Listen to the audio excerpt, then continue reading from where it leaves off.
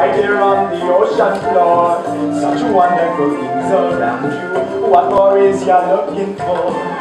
Under the sea, under the sea. Darling, it's better down where it's. Take it from me. Up on the shore they all day. Out in the sun they slave away. While beauty goes in good time to float and under the sea.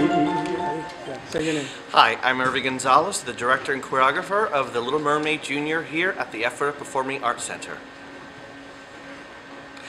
Uh, we are so excited to bring you the audience. We have about 60 to 65 kids who are so eager and animated to bring you Little Mermaid live here on stage. We're so excited because this is our fourth year returning in our Kids for Kids production. We have a fabulous cast, and here's some of them behind me.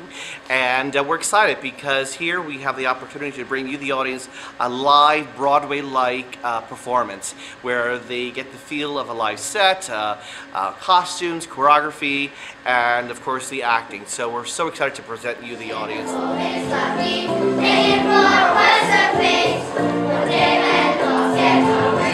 Yes, so gone beyond the place.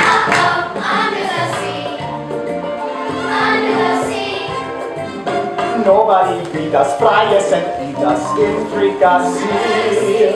We were the land folks love to good. Under the sea, we on the the show opens on February the 6th through the 22nd. Second. And for ticket information, please call 717-733-7966. We look forward to seeing you here at EPAC for the Little Mermaid Junior.